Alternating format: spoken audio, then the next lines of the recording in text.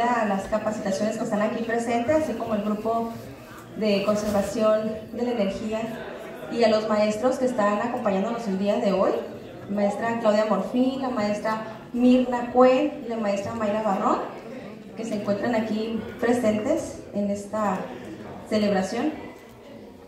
Vamos a tener una pequeña charla sobre lo que es la importancia del cerebro. Ahorita vamos a presentar el tema de la conferencia. Es una conferencia pequeña, ¿sí? Vamos a tratar de terminar pronto para que puedan salir ahorita a sus actividades que tienen pendientes, ¿ok? Entonces, muy buenos días a todos. Les doy una cordial bienvenida. Esta es una conferencia en el marco de la celebración de la Semana Internacional del Cerebro 2024. Para los que a lo mejor no conocen mucho sobre este tema, es una celebración que se hace año con año eh, se elige una semana del mes de marzo, que en esta ocasión es del 11 al 15, y todas las instituciones de salud pública, privada e instituciones de educación eh, nos unimos a esta causa para poder conmemorar los avances científicos en el área de la neurociencia, ¿sí? avances en medicamentos, en terapias, en la salud mental, en todo lo que involucra el cerebro. Entonces es una celebración que ustedes pueden seguir en, redes sociales y ver cómo participa la universidad, institutos, colegios en esta rama. El día de ayer los, felicito a todos los que participaron, quedó muy bonito todo su trabajo, eh, promoción social que se une a este, a este evento. Muchas gracias por unirse con la capacitación de análisis clínicos. Los dos creo yo que se lucieron, entonces les pido un aplauso para ustedes porque quedaron unos trabajos excelentes.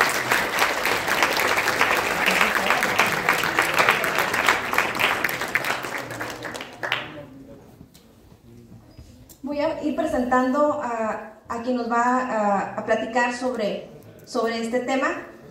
Es el doctor Efraín Armenta Rojas. Eh, como formación inicial, él es químico farmacobiólogo, egresado de la Facultad de Ciencias Químicas de aquí de la Universidad Autónoma de Baja California. Tiene una maestría en Ciencias de la Salud.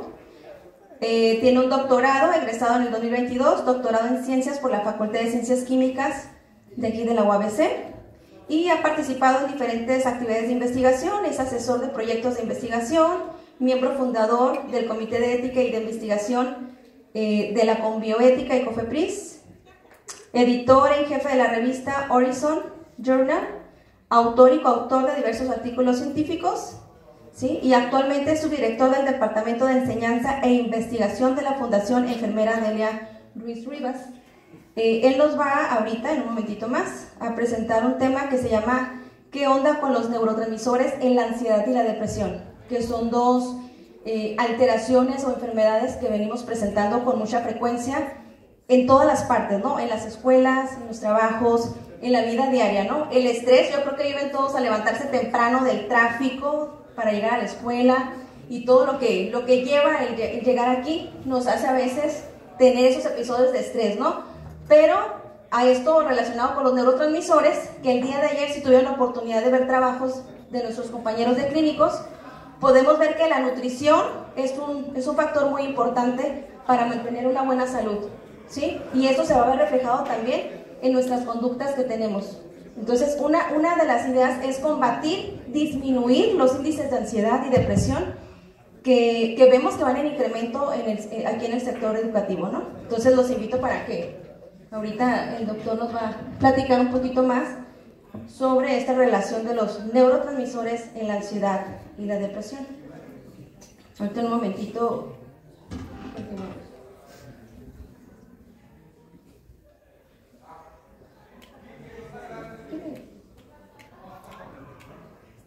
¿Qué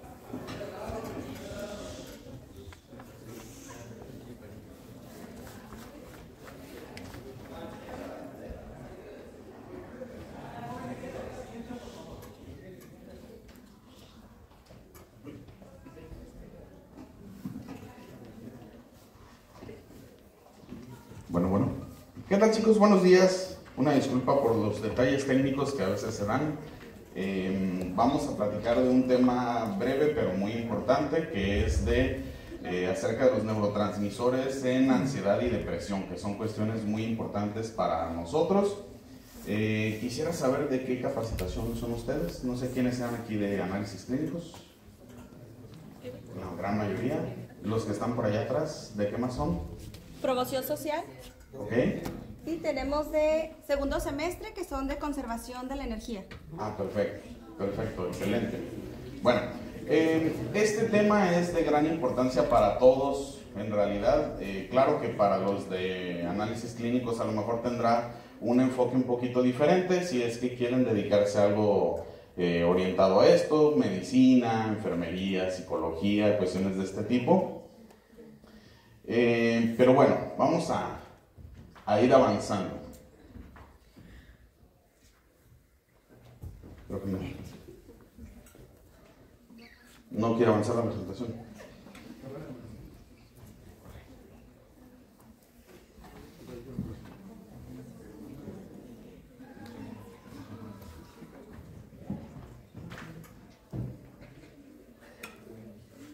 Ok. Entonces, a manera de definición es muy importante saber que la ansiedad es este estado de afección de una persona donde existe preocupación, un sentimiento de miedo, de terror o de intranquilidad que son excesivos y que son anormales. Sí, es normal que todos experimentemos miedos, es normal que todos experimentemos periodos de angustia, pero existen pues estados que son excesivos donde no existe absolutamente nada que nos pueda tranquilizar, que nos pueda sacar de este, de este momento, ¿no? algo parecido a algún tipo de crisis. Y por otro lado, muy relacionado, la depresión es un estado donde existe esta angustia de manera eh, permanente, ¿no? o que tiene periodos muy largos y afecta a muchísimas personas alrededor del mundo. De hecho, de acuerdo a la OMS, la depresión es un tipo de discapacidad y es el tipo de discapacidad más frecuente en el mundo. Como cifras muy importantes, eh, más del 50% de los trastornos mentales en nuestro país se dan antes de los 21 años, es decir, todos ustedes son de esta población que está en riesgo. De esto, el 79% de los estudiantes del nivel bachillerato han presentado algún tipo de ansiedad y seguramente ustedes lo han vivido ya sea en carne propia o con sus compañeros. Y también un 27% de la población del mismo nivel ha presentado sintomatología depresiva.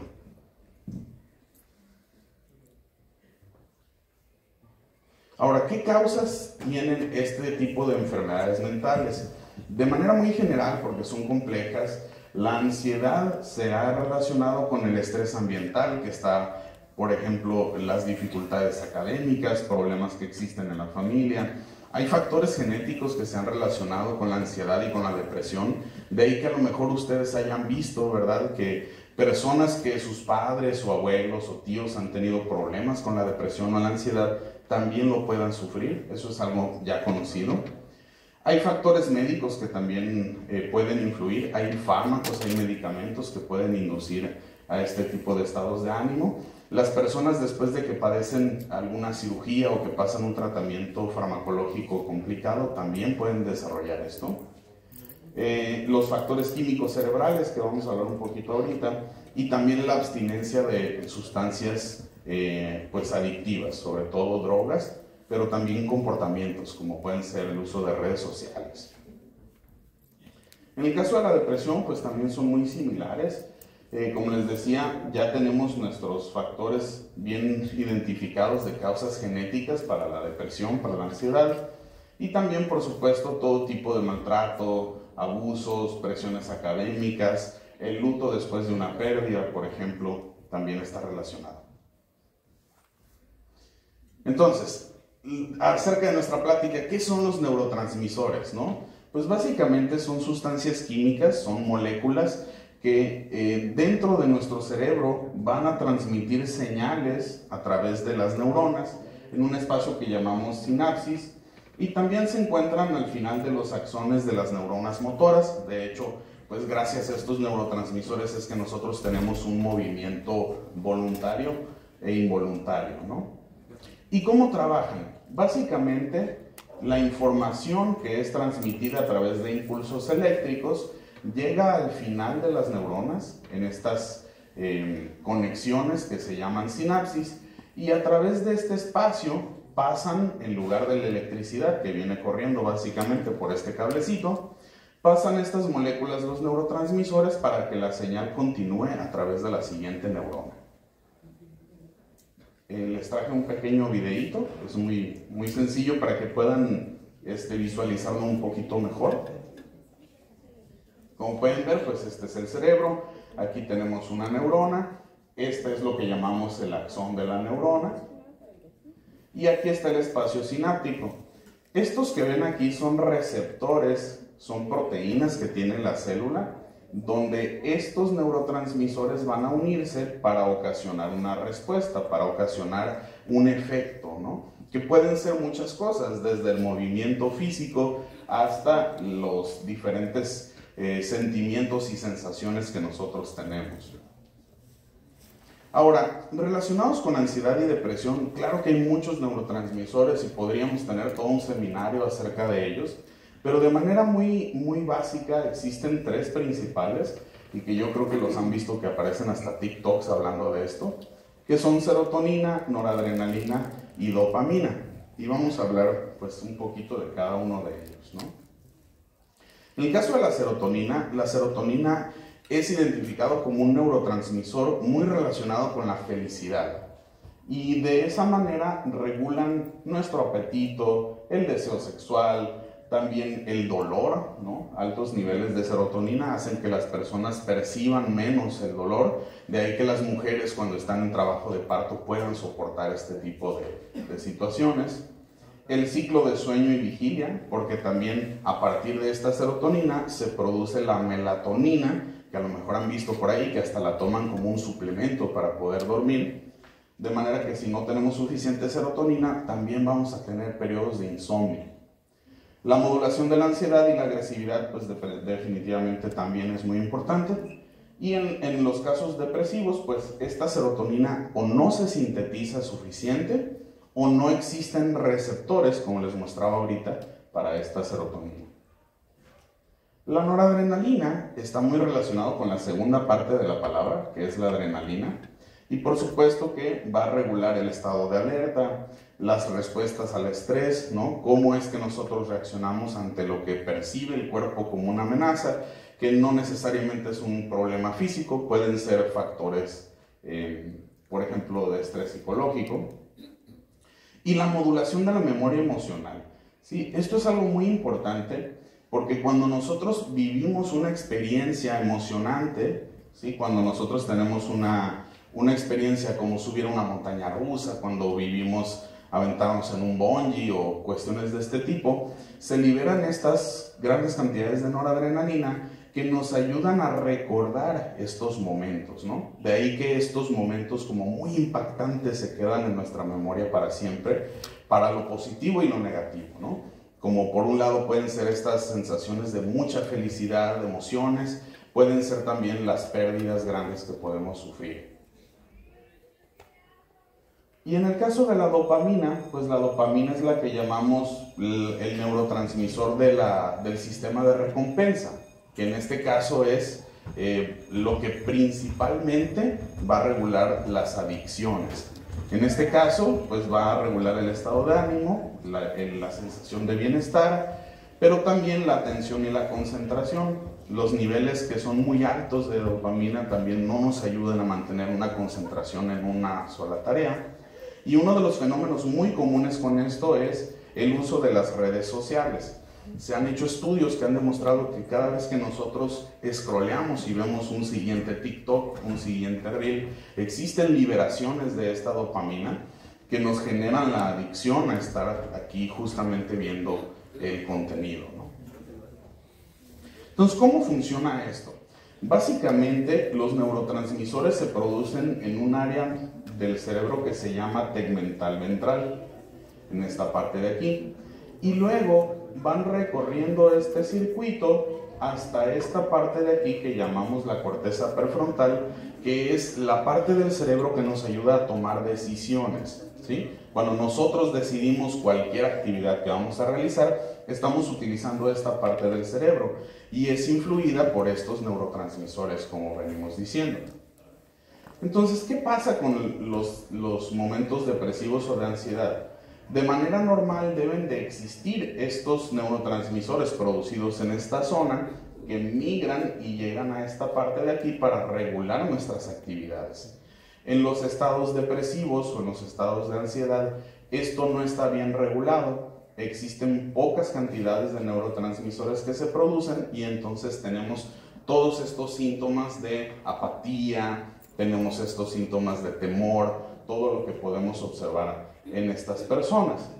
Y existen técnicas de imagen, ¿sí? resonancias funcionales que nos ayudan a observar a los neurotransmisores dentro del cerebro para poder diagnosticar a las personas con depresión.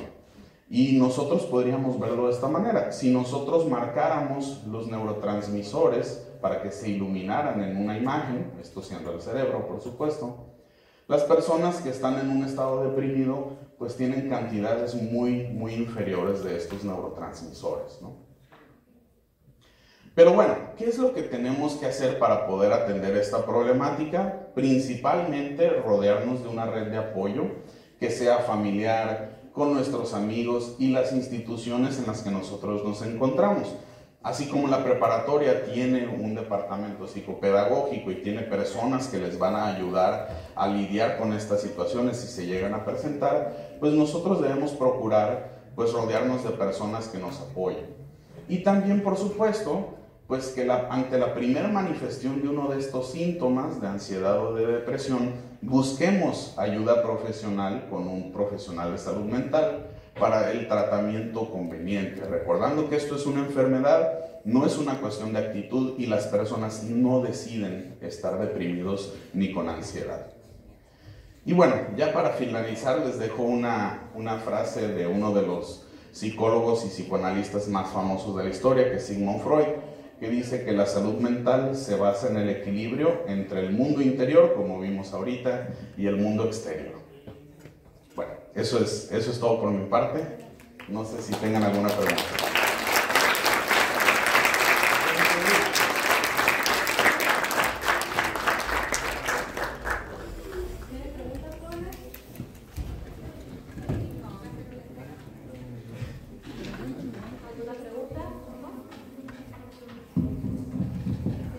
¿Sí va? Bueno, de verdad, muchas gracias por eh, esta conferencia, muy interesante como siempre, que nos han venido aquí a acompañar. Eh, queremos nosotros agradecerles con una constancia, un reconocimiento. Eh, dice la constancia, la Preparatoria Federal Lázaro Cárdenas, en el marco del 50 aniversario de su federalización, otorga la constancia a de, Daniela Lilian González Sánchez, por haber impartido la conferencia ¿Qué onda? Con los neurotransmisores en la ansiedad y la depresión en la institución educativa. Mi progreso lo forjará la dedicación al saber. Y firma pues el director de la escuela, Carlos Abel Eslava Carrillo. ¿Okay? Un aplauso, por favor.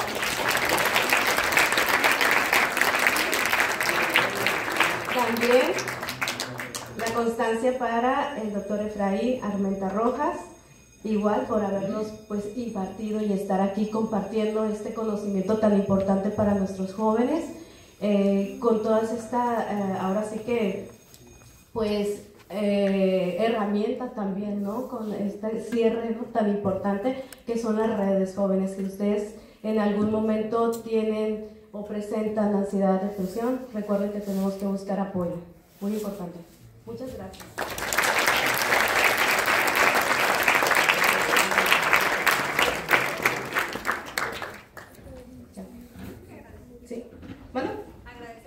Sí, agradecemos la presencia de todos ustedes y, pues su paciencia. Muchas gracias, jóvenes. Este, pues ya se pueden retirar a sus clases. Gracias.